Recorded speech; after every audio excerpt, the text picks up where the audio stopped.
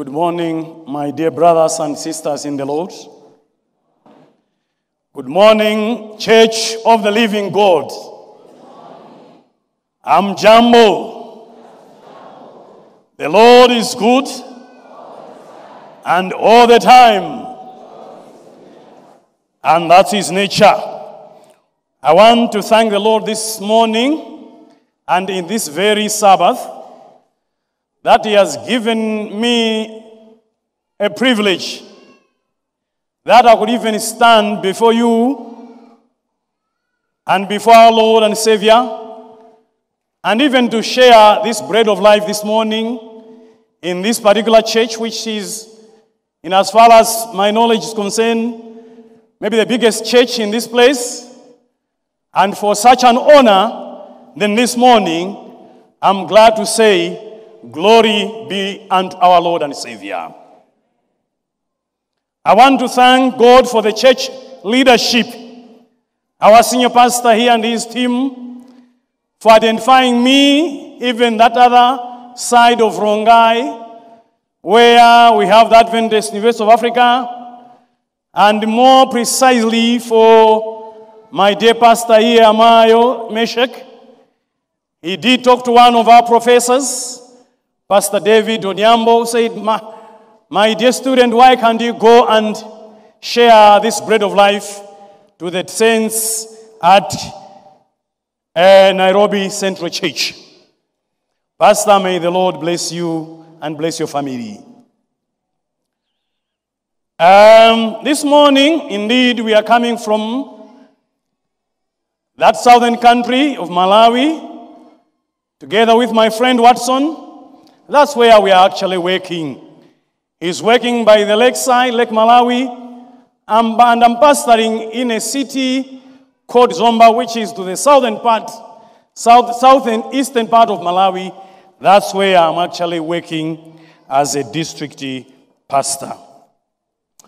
This morning, I want before I want us before we begin sharing God's message to have this special to experience this special greeting. You may look onto your friend, you may even hold his or her hand and say, Shabbat Shalom, and then your friend can always say, Shalom Shabbat. Shabbat, Shalom, Shabbat, Shalom, Shabbat. Can we try that one this morning? Since we are in these very holy hours of the Lord. Shabbat, Shalom, Shalom, Shabbat. Shabbat is peace, um, Sabbath. And then Shalom is peace. The greeting this morning is saying, I wish you another peaceful Sabbath. And then we are saying, May the, the Lord who gives peace even be with you in these very hours of the Sabbath. Our message this morning, as we have been sharing, is entitled When God Says Run. We'll look precisely on a single text this morning. And that is coming from the book of First Corinthians chapter 9 verse 24. Shall we pray? Our kind and gracious Father who art in heaven, from everlasting to everlasting, from generation to another generation, you have been a great God, a marvelous God, a wonderful God. May, Father, in thine own way, you come and worship with us, speak to us, and even uplift our hearts, our souls unto you in Jesus' name. Amen. This is what the Bible is saying to us this morning. It's a question. Do you not know that in a race, all are all the runners run, and they do this to their very best to win. But only one person, one competitor, one in a race receives the prize. Therefore, Paul is saying, run your race in such a way that you may seize the prize and make it yours. My dear brothers and sisters, this morning, our focus in this morning sharing, in this message, is coming to us from a place called Corinth.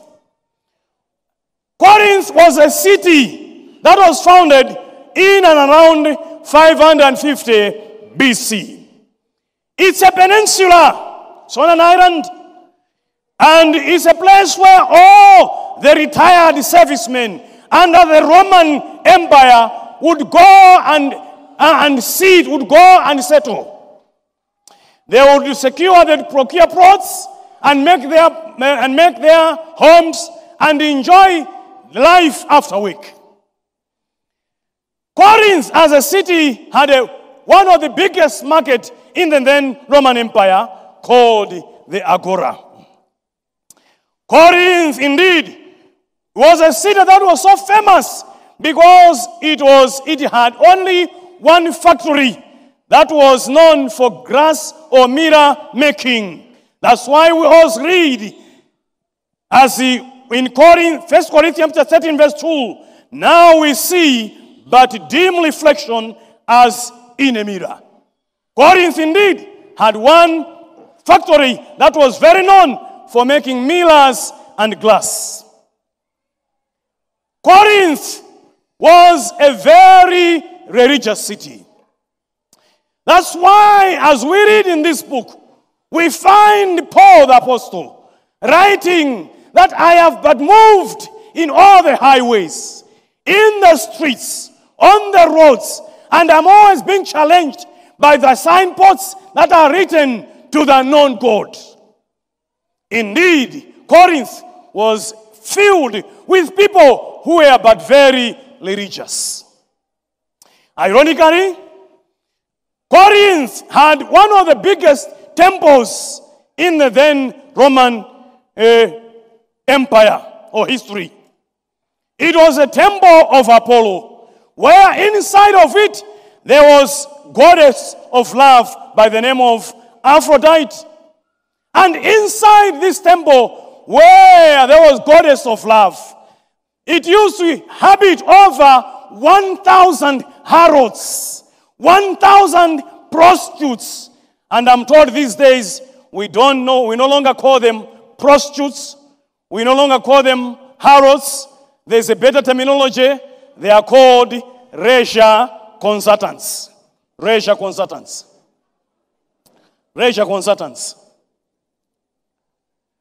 So every evening, my dear brothers and sisters, every evening there was a bell that would be rung in this temple. And as these prostitutes, as these leisure consultants are descending onto the city, they would be singing only one slogan play Corinth. And when this slogan is being played, that means every other man, every other young man or old man would be grabbed for business.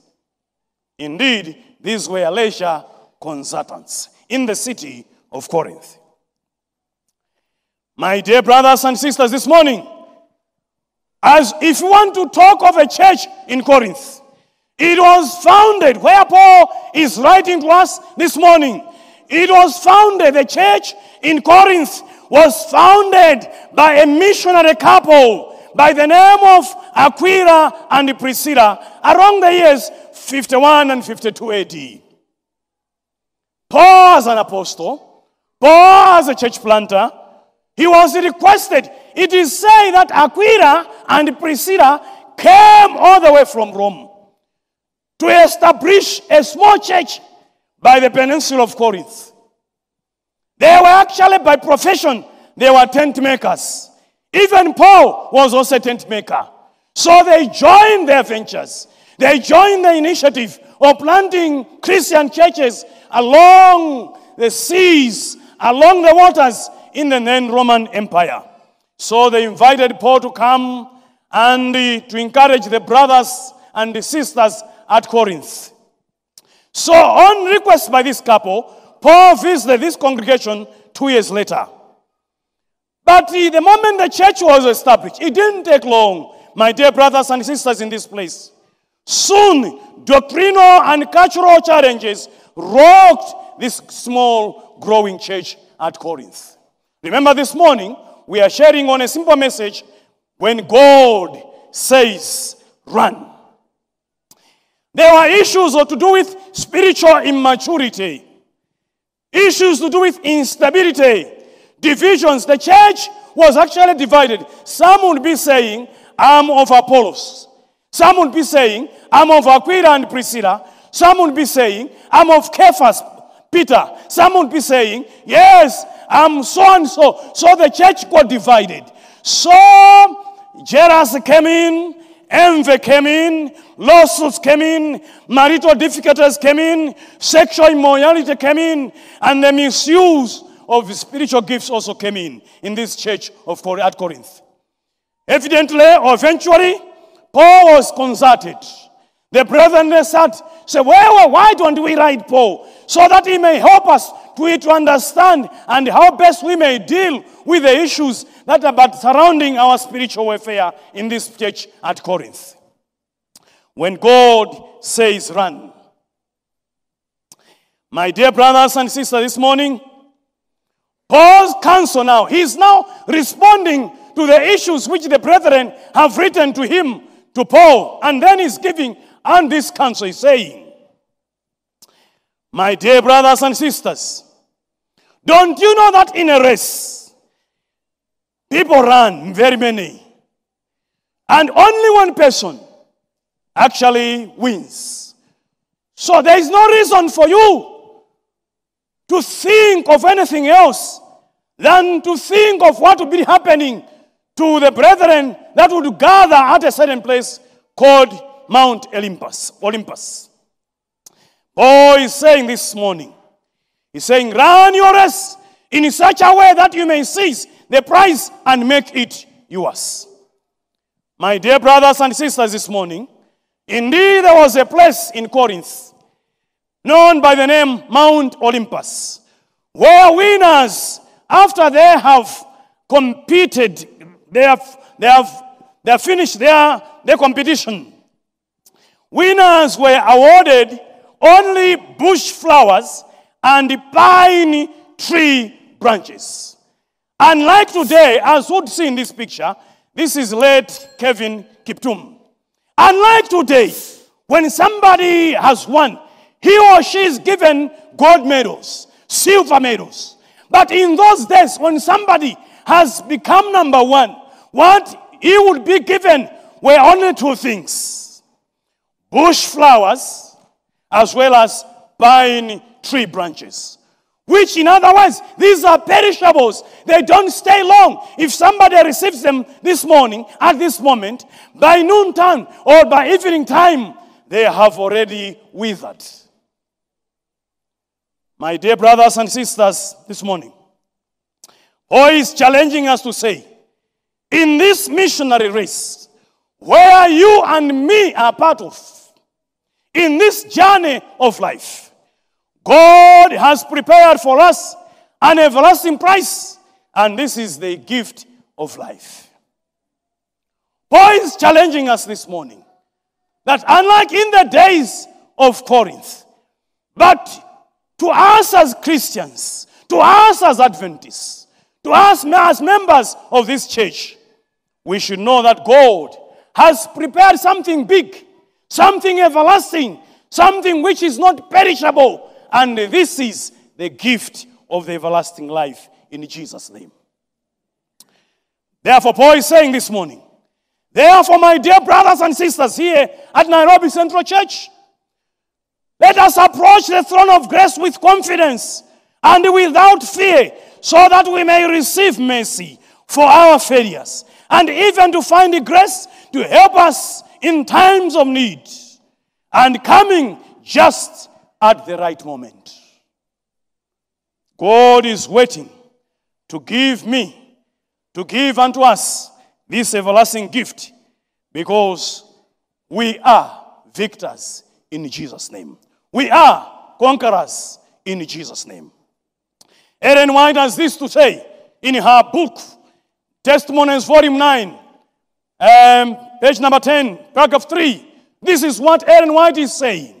She saying, We have nothing to fear for the future, except as we shall forget the way the Lord has led us, except as we shall forget his teaching in past history. Yes, our histories may be crooked, may be hopeless, may be hopeless. But at this moment, when the Lord has called us even unto this church, we should know for sure that the Lord has prepared for you. The Lord has prepared for me a very wonderful gift. And this is the gift of the everlasting life in Jesus' name. Oh, he's saying to us, indeed, as Adventist Church, we are moving forward. We are marching to Zion, slowly but surely. But we are moving to the beautiful city of Zion. Soon and very soon, we shall all sing this redemption song because Jesus has already defeated us and has already become our conqueror, uh, the conqueror on our behalf. The Lord is saying to us this morning, we have a sure destination. We are going to heaven very soon. We are marching, we are moving, we are running to the third heaven. You know, the Bible has this to say that heaven is categorized in three, in, in, in, in three areas. There is the first heaven, we, which, which we have the firmament, I mean, where, uh, where we have these birds flying. This is the first heaven. Now there is the second heaven, where we have the moon, the stars, the planets. This is called the starry heaven. But then you and me, as saints of the living God, we are moving to the very third heaven where our God dwells and where God has gone to prepare for us a place. The Bible has this to say, let us therefore run, run and run towards our place, our, towards our prize with no fear but love. It may be this morning that we have come to congregate worship in this place. But yet, if you look, our, our, if we look back, it's like maybe we have stagnated. Why have we stagnated? It could be like this that we have come in this place, and yet we don't have anyone to call a friend. But I want to announce this morning that even though we may not have friends in this place, I want to say and gladly say that we have a friend by the name of Jesus Christ who loves us, who would visit us in our moments when we are at our lowest lows. His name is Emmanuel, who is more than a brother to us, who would be by us whether we are at the highest moments of our lives, whether we have food, we don't have food in our homes, whether we have water, we don't have water in the homes. But Jesus is a very trusted friend. Indeed, we may be struggling with life, becoming helpless and hopeless. No food, no water, no appetite, even no, nobody to call a fancy. I want to challenge us this morning that we have a friend, we have a brother who loves us, and his name is indeed God with us. He is the blessed hope of glory. We may be experiencing broken relationships in our homes, in our workplaces, in our schools. But I want, I want to announce this morning that indeed we, our families may be tottering apart. We may be separating emotionally. We may be separating physically. But I want to challenge us this morning that even though we may have stubborn children in our very homes, stubborn supervisors in our workplaces, stubborn teachers in our schools. But I want to announce this morning that indeed we have a brother and a very loving brother, and his name is once again the desire of ages. We must run, dear brothers and sisters. We must run so that we may receive the prize which the Lord has prepared for us. This morning, the Lord is saying, in this race of life, we have only one competitor, the accuser of our, of, of our brethren. And this one is the devil himself. Paul is challenging the Corinthian church, the Corinthian church members, to stop being divided.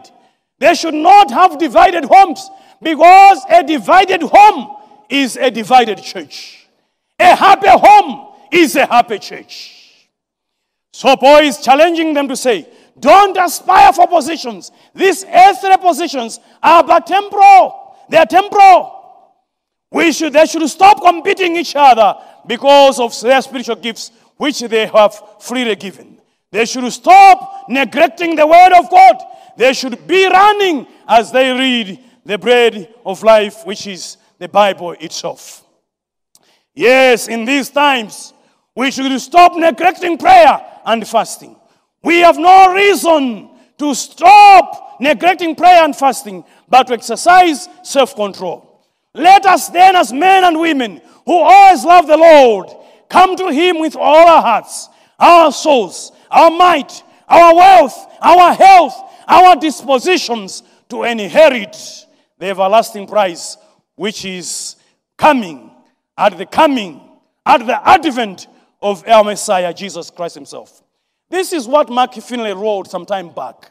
He says, We cannot expect revival when our hearts are more inclined to television, comedians, than prayer. We cannot expect revival when we are more interested in the morning sports pages than the morning devotions. We cannot expect revival when our violation of the health, the message of health reform has clogged our brains so that we cannot discern the voice of the Spirit. Indeed, we cannot, we cannot expect revival when our minds are filled with these thoughts of fashion rather than thoughts of the spotless robe of Christ's righteousness. What do we say at the church this morning? Indeed, praise and honor be unto him forever and ever this morning. Indeed, this morning, Paul is challenging us when he is saying, Please run. He said, he said, he said that in this missionary journey, all are involved and all are winners. Unlike the church at Corinth, unlike the city at Corinth, where only one person would emerge as a winner, but in this missionary journey, all of us are winners. All of us are involved because in those days, it's only one person or three or four who would receive these perishables. But in these days, and even in the life hereafter, God is saying it's only not going to be given to one person, but each and every person, because Christ came for all of us yet to be saved. Yes, Ellen White used to say that every true disciple is born into the kingdom God as a missionary. He who drinks of the, of the living water becomes a fountain of life. The receiver indeed becomes a giver. We need to get involved in the mission of rescue the perishing because this is total member involvement. This is total member involvement. This morning, in this race of life, in this race of faith, victory is personally granted. And Paul is exclaiming to us this morning to say, Yes, I need no other evidence. I need no plea. Because Jesus Christ came and died for me at the cross of Calvary. And he rose again that me, who is yet but a sinner, may be saved. Me, who is rugged, who is full of ill intentions, ill motives, may dine with him who is but the spotless lamb of Calvary. Boys, explain to us, I need no evidence that Jesus came to die and even to die for me. You know, Ellen White wrote to say in the book of Steps to Christ that even though it was just one person who would sin or would have sinned, still Christ would come and die for him and die for her. Paul is saying, I have fought this good fight. I have finished the race. I have kept the faith. Henceforth, there is laid up for me the crown of righteousness which the Lord, the righteous judge, will award to me on that day. And not only to me, but to all those who love his appearing. may we be among the saints. May we receive this crown of life. May we be among those who shall enter the gates singing this redemptive song that indeed the Lord has but redeemed us. Saints of the living God, let us run purposely, let us run prayerfully, because there is a price which the Lord has prepared for us. When God says run, we must run. When heaven says run, we must run. And when this great missionary says run, we must all run because Christ has already experienced it. Paul is saying to us as I conclude this morning that indeed I have wandered far away from God, but now I'm coming home. The paths of sin, too long I have trod. Lord, I'm coming home. Paul is challenging the brother, the brethren at Corinth. Please come home. Come home. Don't wander away. Don't go wayward. Come home because we are purposely in a race. Lord, I'm tired of running around. My life is empty with no meaning. Yes, I may be challenged even in keeping the holy Sabbath. I may be challenged even in being a faithful steward. I may be challenged even to remain a faithful young man and young woman. Yes, I may be challenged with hatred, envy, jealous, and pride, and addictions. But Lord, I'm coming home. Yes, my path of sin that I have trod is long and destructive. But this morning, Lord, I'm coming home. Paul is pleading to the saints, to the church members, to the brothers and sisters at Corinth, please come home. Please run in a race. Please come to him who is the author and the finisher of our faith. Indeed, we can all say this morning, Yes, I'm coming home. As I conclude, I want to leave these words which one of the greater, greater founders of the great Methodist movement, Methodist Church, said by the name of John Wesley. He said, and I quote, I judge all things only by the price they shall gain in eternity. I judge all things only by the price they shall gain in eternity. My dear brothers and sisters, how are we running this morning? It is my singular prayer that the Lord, who called us from darkness, bringing us light into a marvelous light, should help us to run steadily faithfully, trusting in the Lord, because Christ has already defeated our competitor, the accuser of the brethren, even at the cross of Calvary. May the Lord help us, and may the Lord bless us. May the Lord keep us, and may the Lord make his face shine upon us. Until then, we shall meet at the celestial shore, even in his kingdom. To him and him alone be all the glory and honor, dominion and power in the name of the Father and of the Son and of the Holy Ghost. Amen.